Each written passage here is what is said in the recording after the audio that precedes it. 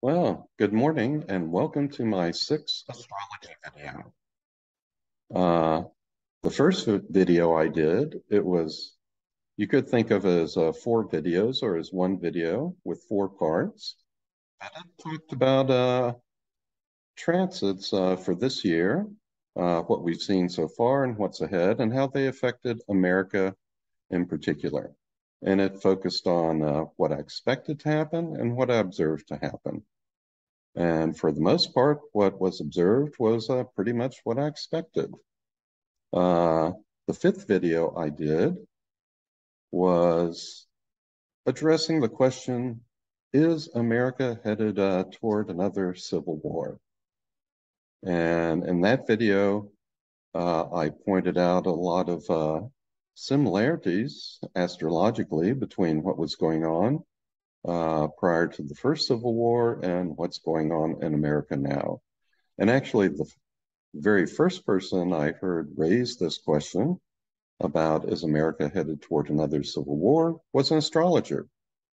And uh, since then, I've heard many uh, people in the media, many historians, many political pundits talk about how similar things are now in the country, in our country, as they were right before the first Civil War. Anyway, in this video, which I call Changing Times, uh, I'm not going to focus on America, but on the world at large. And I want to talk about some of the major cycles that began in the year 2020 and uh, some of the uh, changes and cycles that are coming up for uh, some of the rest of the decade. So uh, let me see if I can share my screen and we'll get started.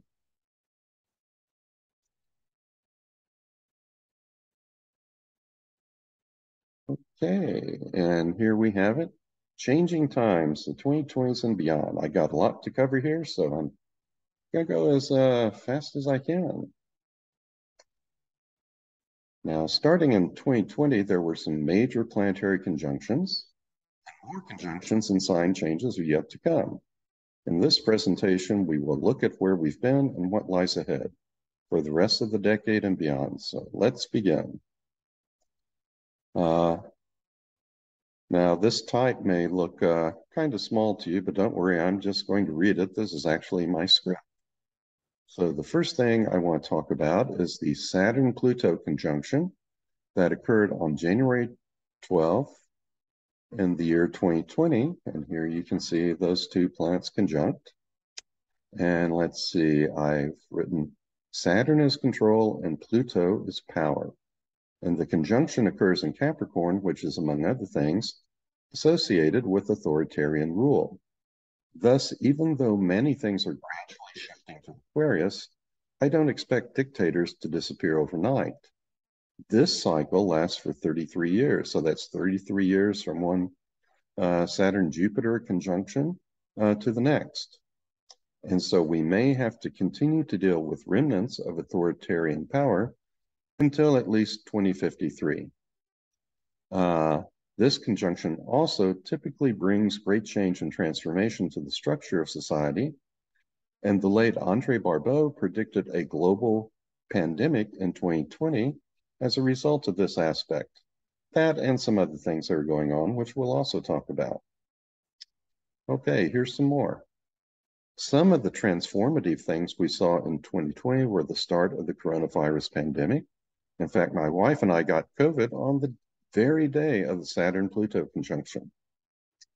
We also had the first impeachment trial of Donald Trump, the death of George Floyd, and the rise of the Black Lives Matter movement, Harry and Meghan leaving the royal family, and the worsening impact of climate change. Time magazine declared 2020 the worst year ever.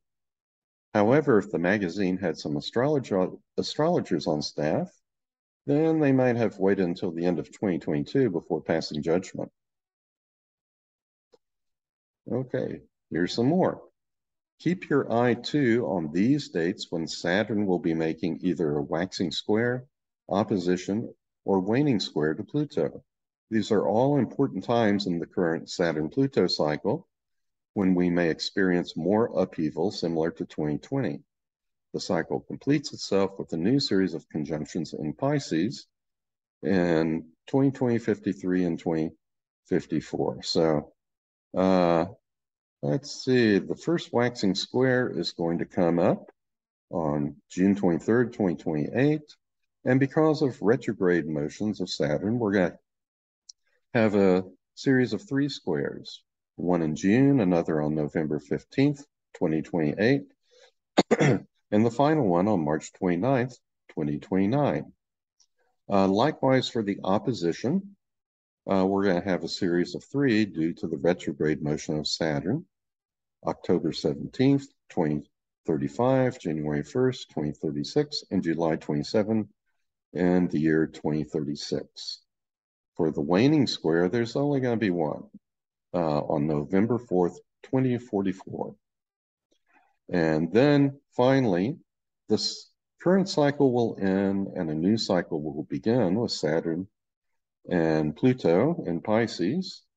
And there are going to be three dates for that due to the retrograde motion of Saturn. June 15th, 2053, July 10th, 2053, and February 1st of 2054.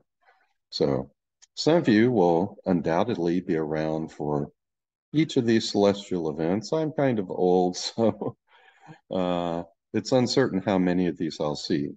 But these are going to be times uh, when there will be tension between those two planets. And what happens harkens back to this original conjunction in Capricorn in the year 2020. So, uh, things to keep an eye out for. Now, Another thing that started in 2020, which is very important, and uh, contributes to uh, all the turmoil, is the Barbault Planetary Cycle Index. So down here I've written, also the Barbault Planetary Cycle Index uh, predicted that the low point for the entire century would span the period from approximately the beginning of 2020 through the latter part of March 2022. This index is a cumulative sum of the distances between the outer planets from Jupiter through Pluto. And when the plants are bunched close together, the index is low and an imbalance is created, thus making pandemics, wars, and other hardships more likely.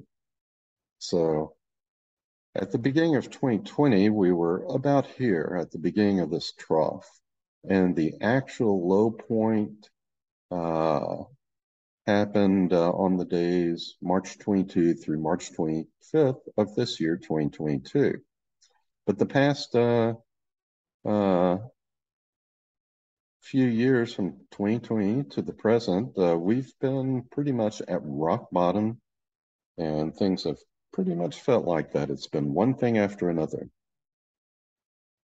Okay, now uh, I'm going kind of in chronological order here. So the next uh, uh, major uh, conjunction that occurred in 2020 was the Jupiter-Pluto conjunction. So on April 4th, 2020, shortly after the January 12th conjunction of Saturn and Pluto, there was a similar conjunction of Jupiter and Pluto. Furthermore, both conjunctions occurred near the same degree of Capricorn, about two degrees apart, and since Jupiter tends to magnify things, this conjunction may only exacerbate the impact of the Saturn-Pluto conjunction. And there's no doubt that the pandemic has drastically altered the structure of our global society. Now, Jupiter moves faster than uh, Saturn, so its conjunctions are going to occur more frequently with outer planets, and the impacts are going to pass more quickly, if you will. So it's not quite as intense as a uh, the planet Saturn being conjunction in conjunction with one of the outer planets. In this case, it kind of uh, sort of like an exclamation point on the recent Saturn-Pluto conjunction in Capricorn. Okay, a little bit more on the Jupiter-Pluto conjunction. Uh, the Jupiter-Pluto conjunction occurred three times in 2020 on April 4th, on June 29th, and on November 12th. Thus, throughout the year, the power of people and authority was magnified for good or ill. The next Jupiter-Pluto conjunction in 2020, 2033 will occur in Aquarius. This will help transfer power from individuals to groups of people. So uh, in recent years, we've been through a lot of stuff involving a lot of planets piling up in Capricorn, uh, which uh, gave uh, additional power to authoritarian figures, uh, individuals. But uh, gradually, things are shifting to Aquarius, where the shift will be from power uh, of individuals to power of the collective, power of groups. So that is where things are headed. Okay. Now, right at the end of 2020, we had Jupiter and Saturn conjunct. This is a cycle uh, that lasts about 20 years from one conjunction to the next. And it sort of sets the tone for what, you know, where society is going to uh, grow and where it's going to try and build new structures. So on De December 21st, 2020, Jupiter and Saturn were conjunct in Aquarius, and this heralded the start of a 20-year shift toward more global cooperation and democratic processes and away from authoritarian control. So we're starting to make this shift now uh, from this Capricorn authoritarian energy to this Aquarian energy of cooperation, democracy, and group activity and creativity. Now, this particular conjunction was also a shift from approximately 200 years of Jupiter-Saturn conjunctions in Earth signs to a new cycle of, uh, again, approximately 200 years of Jupiter-Saturn conjunctions in air signs, specifically a shift from an emphasis on physical wealth and resources to a world that places more value on ideas, creativity, and relationships. Okay. Uh, this is going to be very important. Uh, with this conjunction occurring in Earth signs, the focus was on material goods, and wealth was measured in terms of physical things that you had. But now we're moving toward a different kind of currency. Uh, for the next 200 years, this conjunction is going to move around from uh, the sign of Aquarius, uh, which is group creativity, uh, to Gemini, which is ideas and curiosity, exploring things, to Libra, which is uh, relationships with others. And this is where we are going to be building things and finding value over the next 200 years. Okay, now moving on to 2021. Uh, the dominant aspect of 2021 was a square between Saturn and Uranus that occurred three times in 2021 and there will be a near miss around October 1st in 2022. In the fall of 2022, the square is not going to be exact to the minute, but will be exact to the degree. It's going to, uh, you know, be about 18 degrees Taurus for Uranus, 18 degrees Aquarius for Saturn. Now, with Saturn in Aquarius and Uranus in Taurus, this created a tension between regulation by groups and the desi desires of individuals to do what they want. For example, just consider all the furor over mask mandates and vaccinations. We've seen this globally around the world. Uh, you know, governments, uh, institutions wanting to do one thing for the good of the people, often benevolently, uh, but individuals uh, decrying that this violates their personal liberties. So let's see, in 2021, we had the square being exact in February and June and in December. And in 2022, it's going to be exact to the nearest degree and around October, September, October. Okay. Also, during the Saturn-Uranus square. In American 2021, we also saw the January 6th insurrection in Washington, D.C., and the second impeachment trial of Donald Trump. You know, those are both examples of uh, uh, the group, the collective wanting one thing and individuals wanting something else and uh, big clashes. So the times they are changing, but not always for the better. Okay, now moving on to 2022, uh, I'll start with uh, the Mars-Venus conjunction. And we can see on February 24th, 2022, uh, they were not exactly conjunct down to the minute, but they were to the degree, to the degree, both Venus and Mars at 22 degrees Capricorn. And on February 24th, 2022, Russia invaded Ukraine. Again, notice that Mars and Venus are almost exactly conjunct at 22 degrees Capricorn. This is the same degree of the previous Saturn-Pluto conjunction of 2020. Hence, this acted in particular like one big awful conjunction between Saturn, Mars, and Pluto. Venus is in there too, but Venus tries to reduce the tension a bit, but Saturn, Mars, Pluto, they're really headed in a you know bad direction. Uh, Saturn control, Mars uh, war, Pluto death and transformation. So it's not at all surprising that someone beats the drums of war during this time. Uh, shortly after that, on March 3rd, 2022, Mars and Pluto were exactly conjunct with Venus less than half a degree away.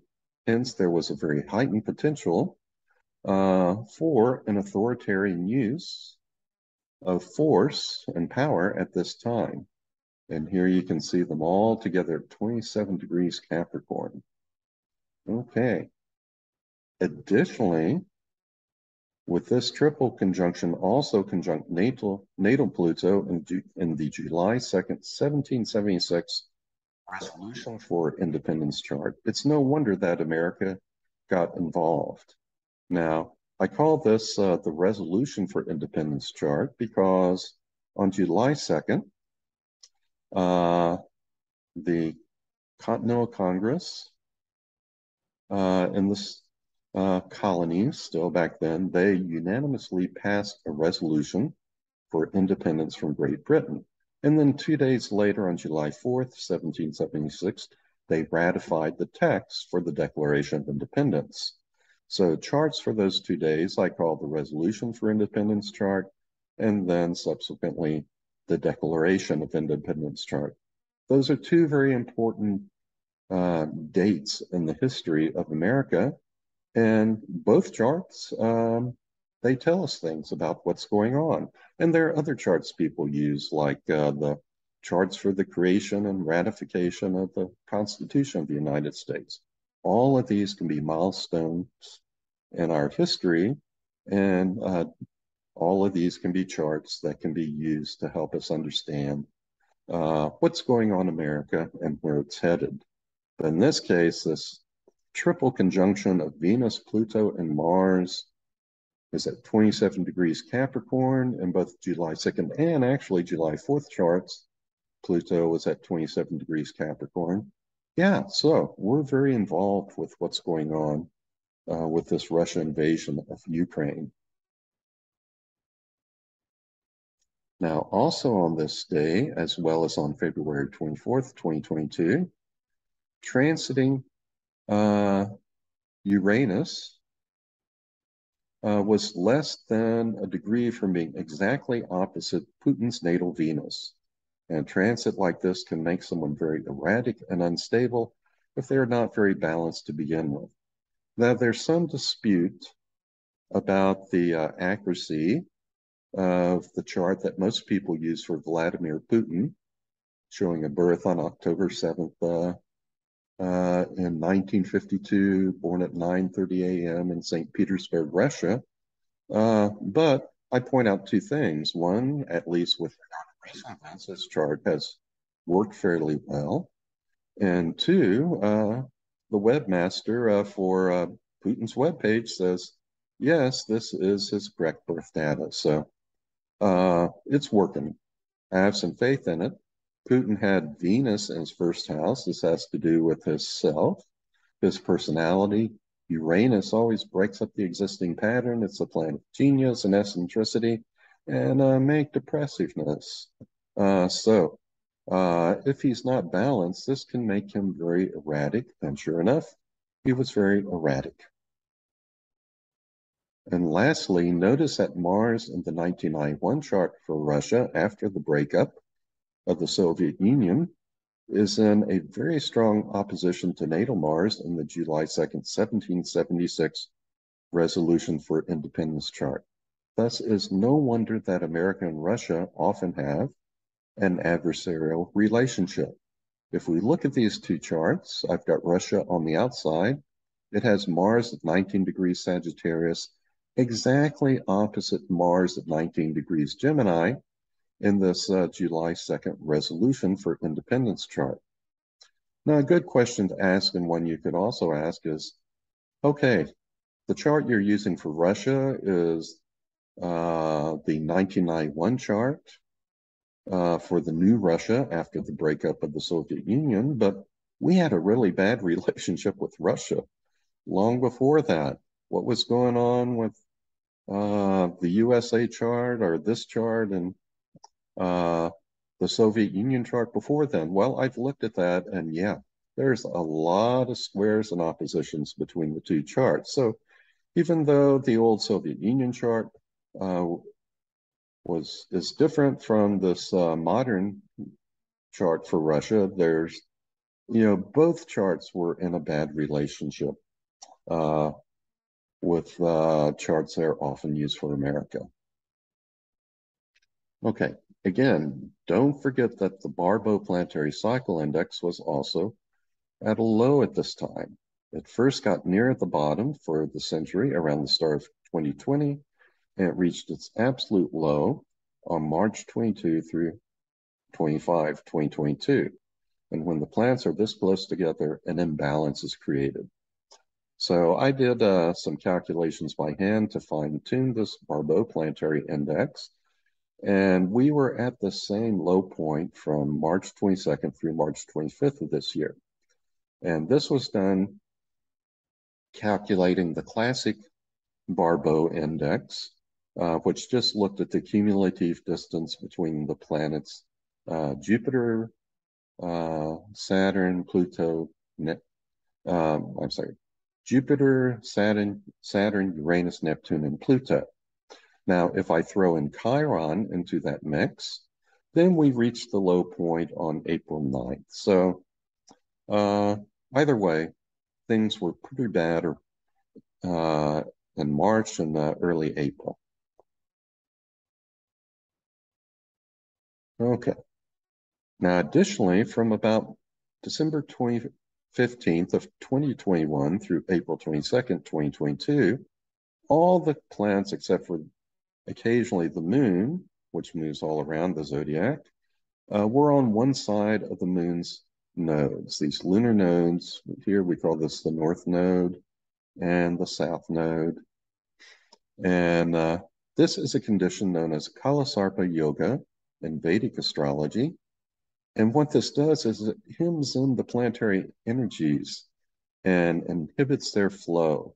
So here you can see everything bunched up on one side of these lunar nodes. They're close together, going to the Barbault Planetary Cycle Index near a low point, and the energy is being hemmed in by the lunar nodes. Okay. Hence, if you felt really bad during the months of March and April of 2022, now you know why. It was a really bleak time astrologically. And I know that I and many others just felt really awful in March and uh, much of April.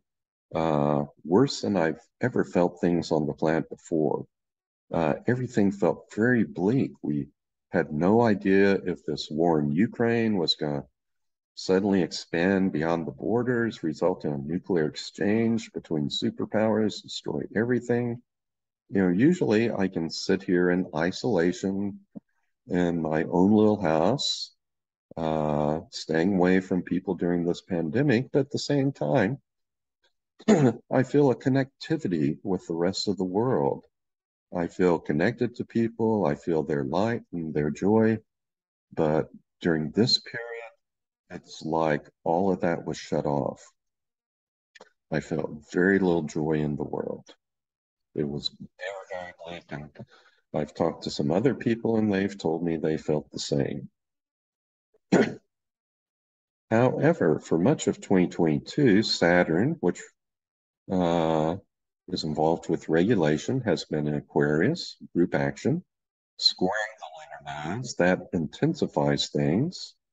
So here we have that right here. This T-square, as we call it, has endured uh, throughout the year. And consequently, NATO and EU, the European Union, have strengthened and provided necessary balance and support for Ukraine. So the uh, militaristic actions of Russia right now, the authoritarian power of Putin represented in terms of what's in the sky now by uh, Pluto up here in Capricorn, it's been counterbalanced by this group action of NATO and the European Union uh, and to support Ukraine and support democracy. Okay. Now, one thing a lot of people were really looking forward to in 2022 is this Jupiter-Neptune conjunction that occurred on April 12th, 2022. Uh, this conjunction is often associated with idealism and progressive politics. However, since we were still under Kalasarpa Yoga and a low Barbault index, I feel that that put a damper on what might have been.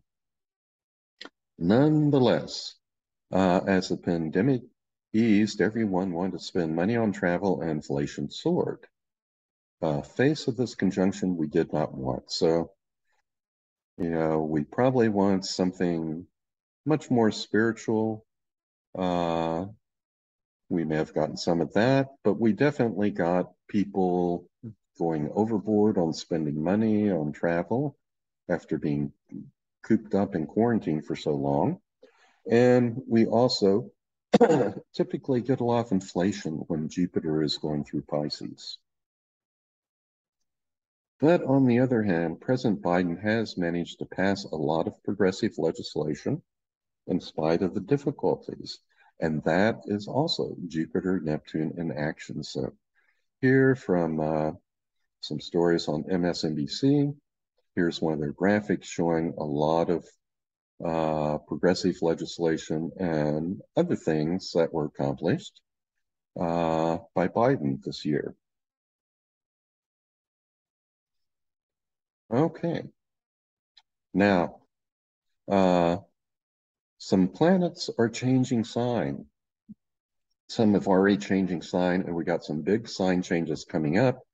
And this is going to produce a very definite shift in tone.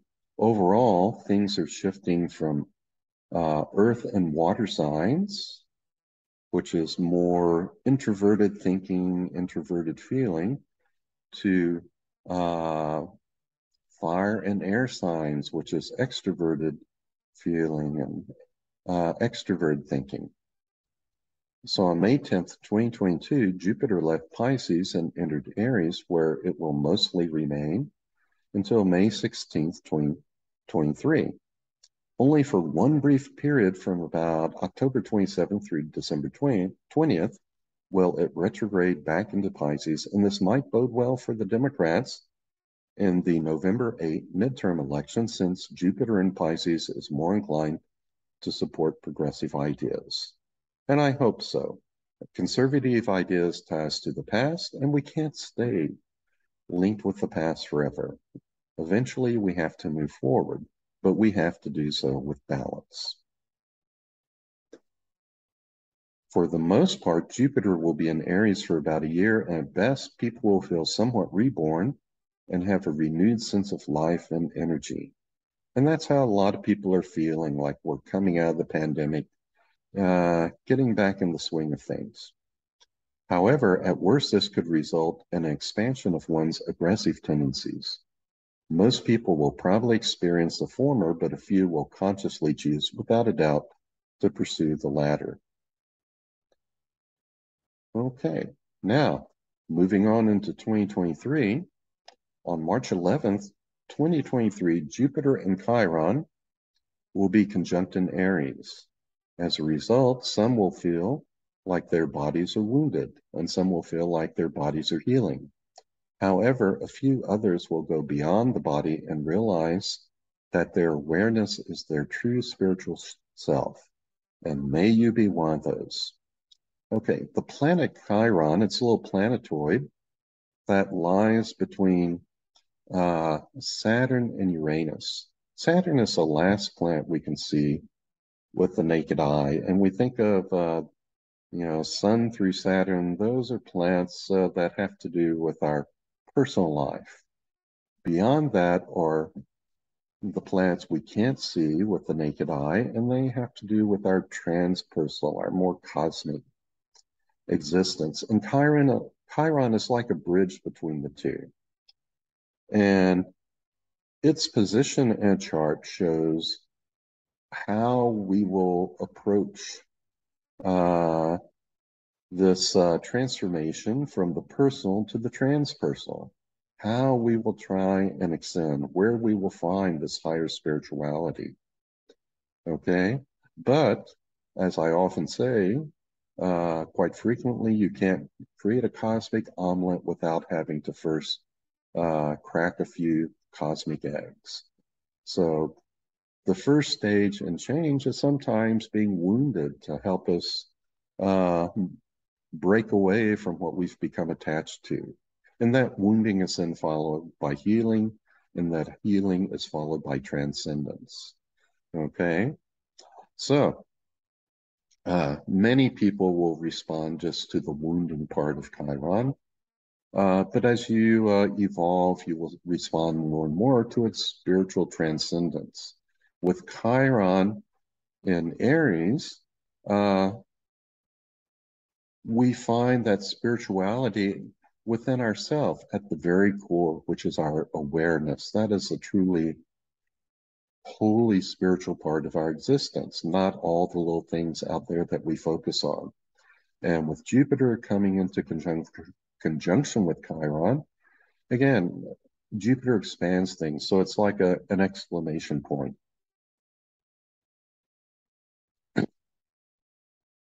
Now, the next big thing that's happening is uh, Pluto moving into the sign of Aquarius, and that's going to first happen on March 23rd, 2023. Pluto will briefly slip into the sign of Aquarius, Aquarius, where it hasn't been for a very long time. It won't be like the fifth dimension seeing age of Aquarius over and over again. You know, it's not going to automatically solve our problems, but it can be like that sometimes if we wish it. More realistically, Aquarius is about working together with others in a creative way.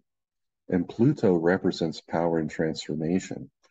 In Aquarius, power is transferred to the people. Now, with climate change and other things going on, uh, I often feel like we're going to have to start working together uh, collectively as a group because we have no other choice if uh, humanity is going to survive. And uh, astrology is giving us clues as to the timing of this thing.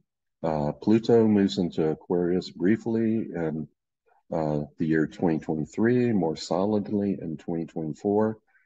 And this is where we're going to see more of the shift occurring of moving away from authoritarianism, power in individuals, to uh, power in the group, the collective, and probably more democracy.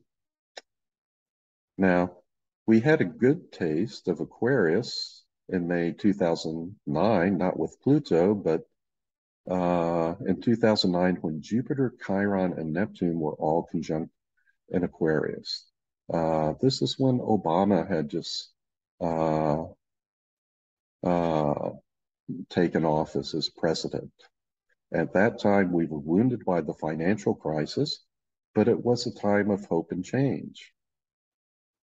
Previously, Pluto was Aquarius 1778 through 1798, and this period saw the American and French revolutions and the creation of the U.S. Constitution. Again, both of these revolutions were about transferring power from individuals to the people.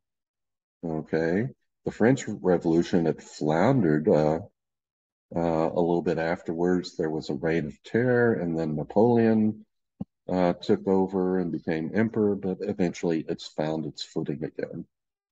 So uh, we saw some of this power of Aquarius in 2009 with this conjunction. This focused more spirituality, hope, Neptune, change. Uh, it'll be a little different with Pluto, but we're going to definitely see more power in the hands of groups rather than just single individuals. Okay, Pluto will enter Aquarius on March 23rd, 2023, and it won't completely leave until January 19th, 2020, 2044. During this period, expect a shift of power from individuals to the people, more democracy, more creativity from groups, and more global co connectivity as people come together to solve the problems of society. Okay, next we have a Jupiter-Uranus conjunction. Jupiter and Uranus will be conjunct in Taurus on April 20th, 2024. This can stimulate creativity, but also economic reversals. The last time these planets were conjunct in Taurus was on May 7th, 1941. America and Russia entered World War I. Ah, I should, uh, let's see, let me change this. World War II. Always a few typos. So we entered World War II that year. The Manhattan Project began. Economies struggled. But also, not long after, on May 24th, 1941, while this uh, conjunction was still in effect, Bob Dylan was born. And uh, his music, it's uh, very down to earth, but very creative. And he had uh, the uh, strong sextile with Neptune and Pisces. So uh, this higher sophistication, it's also there in his music. Okay. Now, moving on. Uh, and the year 2025, the planet Uranus will move into Gemini. This is going to be a biggie. Uranus will be in Gemini from 2025 until 2033. The last time Uranus was in Gemini was from 1941 to 1949, and this was a period of great invention that saw the invention or development of programmable computers, the atomic bomb, radar, jet airplanes, the transistor, microwave ovens, magnetic tape recording, television, the turboprop engine, penicillin, and surprisingly, Velcro, the slinky, and the frisbee. Thus, a period from 2025 to 2033 is likely to also be a period of great invention. And with the problems our society faces, we're going to need that. Okay, another biggie, Neptune moving into Aries. Neptune will be in Aries from 2025 until 2038. The last time Neptune was in Aries was from 1861 to 1874. And at best, 2025 to 20 38 will be a time of vision and spiritual awakening, awakening for individuals. However, this can also be a time of conflict driven by ideology. That is what is probably more likely. If we go back in history, from 1861 to 1874, we saw several wars around the globe including the American Civil War, the Franco-Prussian War, the New Zealand Wars, the Paraguayan War, the Austro-Prussian War, the Bhutan War, the Russo-Circassian War, the Third Anglo-Ashanti War, the Third Carlist War, the Ethiopian-Egyptian War, the Federal War in Venezuela, the January Uprising in the Russian Empire, the Taiping Rebellion, the Dungan Revolt in China, and the Boshin War in China. Well, let's all hope that, that this next Neptune and Aries period will avoid such conflicts. Um, it's awful that Russia decided to invade Ukraine, uh, but we have mechanisms in place that didn't exist uh, back in the 1800s. We have the United Nations, we have uh, channels of diplomacy. So there will be probably this uh, pressure toward conflict based upon ideology, but I'm hoping that most of them can be resolved through diplomacy and not war. Okay, Saturn, Moon, Neptune conjunction. Uh, this date, February 19th, 2026, is going to be something to keep an eye on. Saturn will be in Aries from 2025 until 2028, and this could exacerbate any conflicts related to Neptune in Aries. The most critical time, though, might be on February 19th, 2026, when Saturn, Neptune, and Moon and Neptune are all conjunct at zero degrees Aries. This is very similar to what was present at the start of the American Civil War. If you go back and find and look at my uh, video on whether we're headed toward another uh, civil war in America, you'll find more information about this. Uh, in the July 2nd resolution for independence chart, Venus was at zero degrees Cancer. Uh, things at zero degrees Aries are exactly square that, and that can be the match that lights the fire. And the day after uh, the Civil War officially began, uh, Neptune moved into zero degrees Aries. So uh, this particular date and just sort of the general time after this and before this in 20, uh, 25, those are times to keep an eye on with regard to what's happening in America. Uh, there are some tensions ahead for America as I talk about in that Civil War video I did. Nonetheless, countering the doom and gloom of Neptune and Saturn and Aries might be a series of beneficial aspects between Uranus, Neptune, and Pluto that will take place between 2025 and 2032. Sextiles and trines up here, I've got them all listed.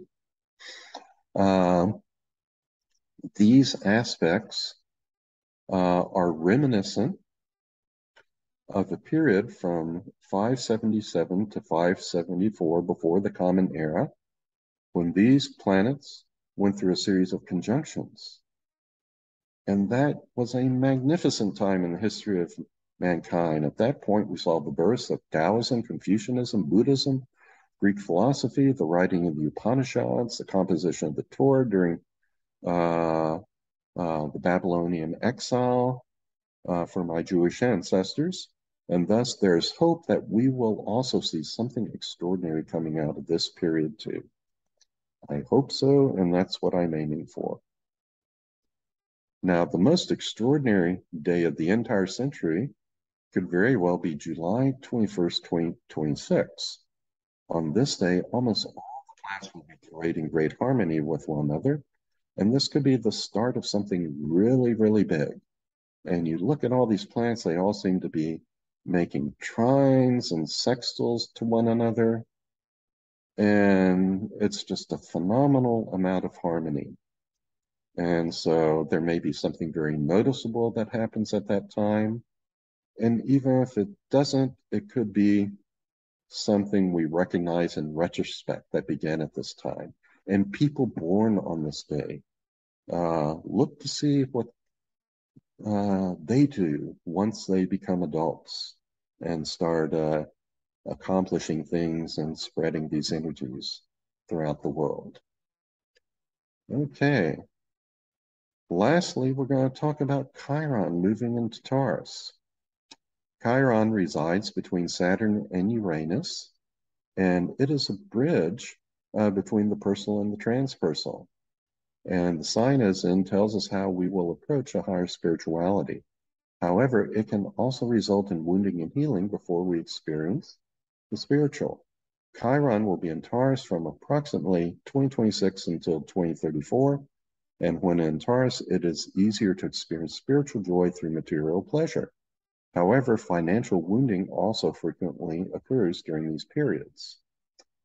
When Chiron was in Taurus from 1976 through 1983, Austin, Texas, where I was living, was a spiritual hippie paradise. And we began to see the rise of interest in Native American spirituality. Earth, Taurus is an earth sign. There was also double digit inflation in the latter part of the 70s. Now, from 1926 to 1933, with Chiron Taurus, we saw the joyousness of the roaring 20s Again, joy through physical expression. Give way to the Great Depression. And from 1877 to 1883, when Chiron was again Taurus, we saw the Gilded Age, the latter part of the Victorian Age, the Industrial Revolution, and period known as the Long Depression. We're also going to have a Saturn Chiron conjunction coming up in uh, Taurus.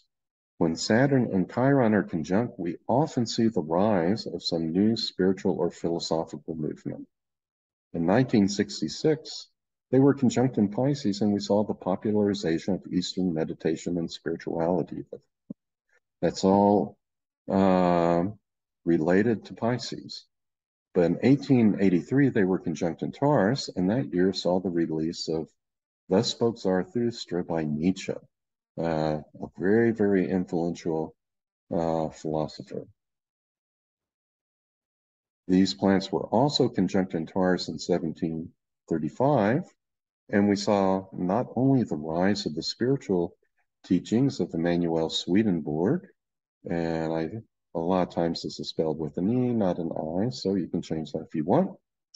And then a few years later, but uh, we, ah, sorry, we saw the rise of Swedenborg's teaching a few years later after this conjunction. Uh, and then we also saw the emergence of the Baal Shem Tov and the Hasidic movement in Judaism with this emphasis on both joy and Kabbalah, Kabbalah as its spiritual backbone. And the next date for this conjunction in Taurus is June 8th, 2028. So again, uh, we'll see some sort of new spiritual movement arise. We may not notice it then, it may be in retrospect, but we haven't had Saturn and Chiron conjunct uh, since 1966, and this conjunction is going to be in Taurus, an earth sign. Down to earth, joy. Could be fun. And finally, on this last slide, I've show you kind of a, a timeline for all these cycles so you can see how they overlap. Uh, first, we have this major cycle of transformation, and I need to transform that because I misspelled. There we go. Transformation of structures as authoritarianism gives way to global cooperation. That's a very long cycle, the Saturn-Pluto cycle. Next, we have the Jupiter-Saturn cycle. They were conjunct Aquarius. The groundwork is laid for a global society in a 200 year period that will value cooperation, ideas, and relationships over material goods. Next, we have this shorter Jupiter Neptune cycle that began Pisces. And uh, for a period of time, progressive visions will lead the way. And then we have the Pluto in Aquarius sojourn and this is a fairly long cycle where group creativity, global connectivity, and power to the people will be prominent. A little shorter cycle, but still pretty lengthy, is Neptune in Aries, Aries, which can be either individual spirituality and or ideological conflicts. This is going to be tempered by the Pluto and Aquarius cycle.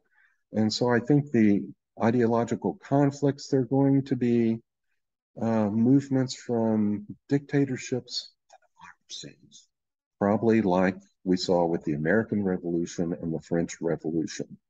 Uh, This may not bode well for countries like uh, China or Russia as it's uh, existing today.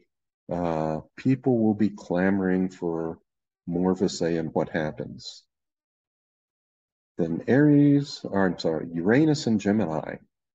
This uh, period, we're going to have this great uh, period of invention going on uh, in the latter part of uh, this decade and a little bit into the, the 2030s. So uh, don't know exactly what'll happen, but it should be great. And uh, the inventions of this era might help save us. And finally, this period of Chiron and Taurus that would be punctuated by the conjunction of Saturn and Chiron and Taurus there will be some sort of new earth-centered or spiritual, sensual spirituality where we will get joy from our physical environment in some way. It will be physical, but the joy will be spiritual. But there may also be some financial wounding. So, in summary, the years ahead may bring not only spiritual promise and breakthroughs in technology, but also the possibility of additional conflicts and more financial woes. The promise of the good seems to outweigh the possibility of the bad. Additionally, never forget that the stars are not our destiny. The stars only influence. Our destiny is what we decide to do with that influence. Okay, well, that's my last slide. Let me stop sharing this. And I hope you enjoyed this. It's uh, quite a lot. Uh, we're in the bad times now. These are the birth pains, but there are some phenomenal things ahead for the rest of this decade. Maybe also some bad times, but as I said, uh, the uh, promise of the good outweighs the possibility of the bad. So I'm very excited. Exciting times ahead. I hope they're good for all of us. And may we go into those times with a sense of oneness and peace, and may we all work together in a good way. Okay, and that's it. So, so long for today. I hope you enjoyed it.